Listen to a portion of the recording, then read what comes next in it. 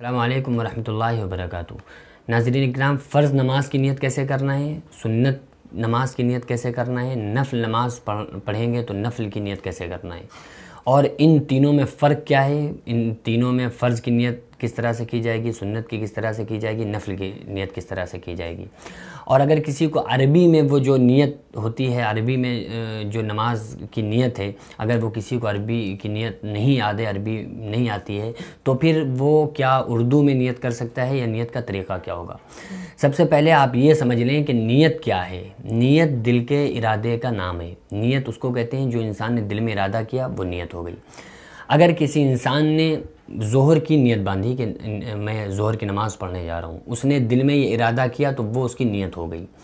اگر کسی انسان نے فرض نماز کی نیت کی اور یہ کہا کہ میں فرض نماز پڑھنے کے لیے جا رہا ہوں، اس نیت سے وہ گھر سے نکلا اور اس نے جب نیت باندھی تو دھوکے سے اس کی زبان سے فرض کی جگہ پہ سنت نکل گیا۔ تو ظاہر سی بات ہے کہ اس کی فرض نماز ہی مانی جائے گی کیونکہ اس کا ارادہ جو تھا وہ فرض پڑھنے کا تھا۔ کیونکہ دل کے ارادے کا نام نیت ہے۔ آپ صلی اللہ علیہ وسلم نے فرمایا، انما الاعمال بالنیات، عمل کا دار و مدار نیت پر ہے۔ فرض کی نیت اگر انسان دل میں ارادہ کر لے، نیت ہو گئی، زبان سے کہنا چاہتا ہے، عربی میں نہیں یاد ہے، کوئی پرابلم نہیں ہے، کیونکہ نیت ہے یہی دل کے ارادے کا نام، تو پھر وہ فرض نماز کی جب نیت کرے گا تو زبان سے کہہ لینا بہتر ہے، نیت زبان سے کر لینا افضل ہے۔ تو زبان سے فرض نماز کی نیت کیسے کر، کی جائے گی؟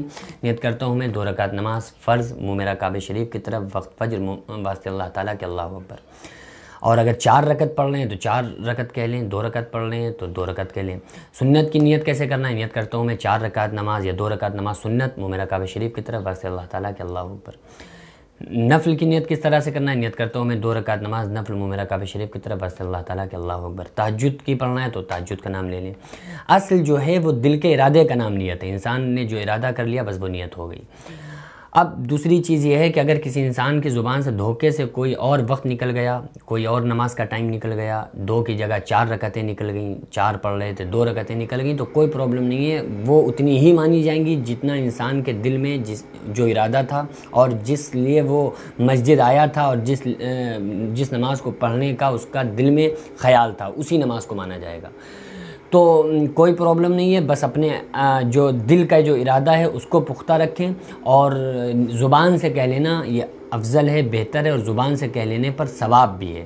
ایسا نہیں ہے کہ اگر ہم زبان سے کہیں گے تو پھر اس پہ ثواب نہیں ہے۔ زبان سے کہہ لینے سے انسان کا دل کا جو ڈاؤٹ ہوتا ہے، جو شک ہوتا ہے، وہ دور ہو جاتا ہے۔ کیونکہ بہت سارے لوگ ایسے ہوتے ہیں جو فرض پڑھ رہے ہوتے ہیں تو انہیں بھول جاتے ہیں کہ یار، پتہ نہیں ہماری نفل نہ ہو جائے۔ نفل پڑھ رہے ہیں تو پتہ نہیں ہم کہیں فرض نہ ہو رہی ہو۔